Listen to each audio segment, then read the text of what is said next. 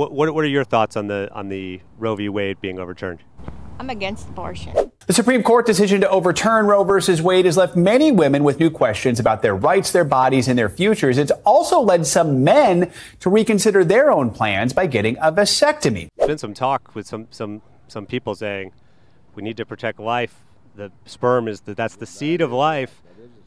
Um, so would would you be in favor of, of all males who are not married uh, getting vasectomies? No.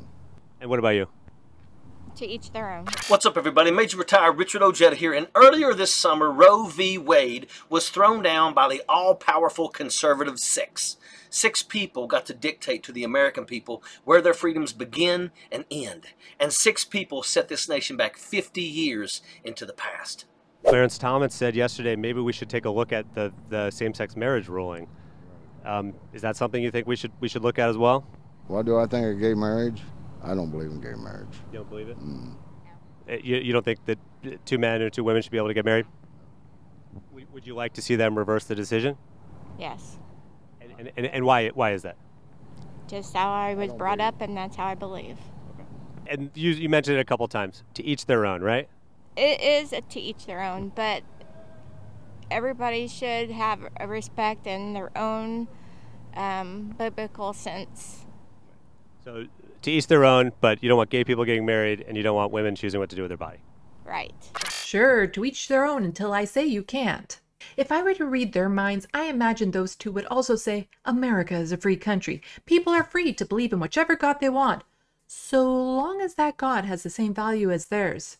But she gave it away when she said, Everybody should have a respect in their own um, biblical sense. Not everyone believes in the Bible. Not everyone believes in any religious book. I am so sick of religious right wingers crying whenever people tell them not to force their values on others. I don't care what any book says. People have the right to choose what happens to their body. People have the right to choose who they marry. If they don't want to do those things, no one is forcing them. It's not a threat to their way of life for people to believe differently, but they act like we're taking away their rights when we don't agree with them. Well, how about my right to exist? I'm a queer non binary person. I live in the real world. I'm not a made up religion. There's no proof any gods exist, but there is proof of my existence because, hi, I'm here.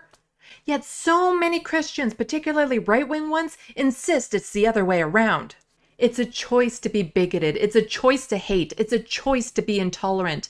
No one gets to blame it on a book and upbringing. Now, if any of them are watching, let's see if they can read my mind.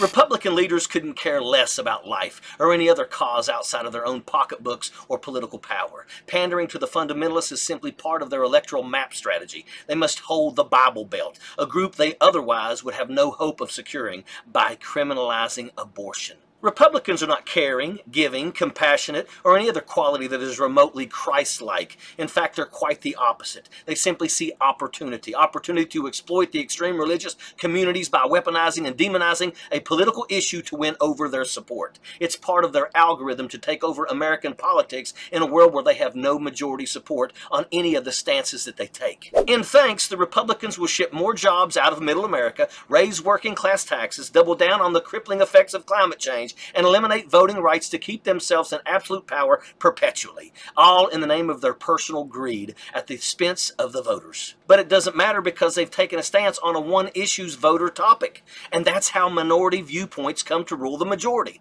how corruption and power intersect towards dictatorship, how democracy weakens and decays. But we know how to fix it, and we have to do it now while we still can, while we still have an American system. These midterms find us on an absolute knife's edge. On the one hand, we can hold the House and expand our Senate majority to codify Roe, pass voting rights, end gerrymandering, and secure democracy for future generations. On the other hand, this could be the beginning of the end of America as we know it.